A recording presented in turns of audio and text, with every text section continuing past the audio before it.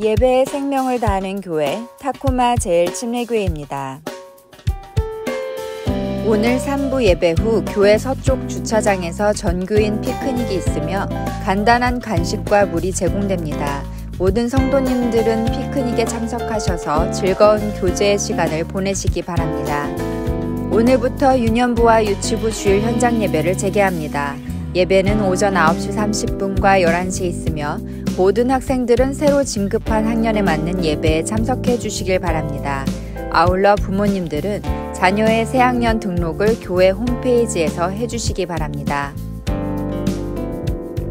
2021년 하나님의 VIP 2기가 7월 18일 주일부터 4주간 진행됩니다.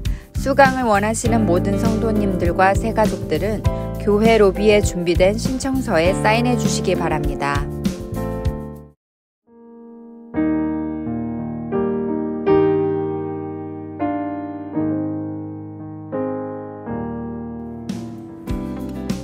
하나님의 은혜가 가득한 한 주 보내세요.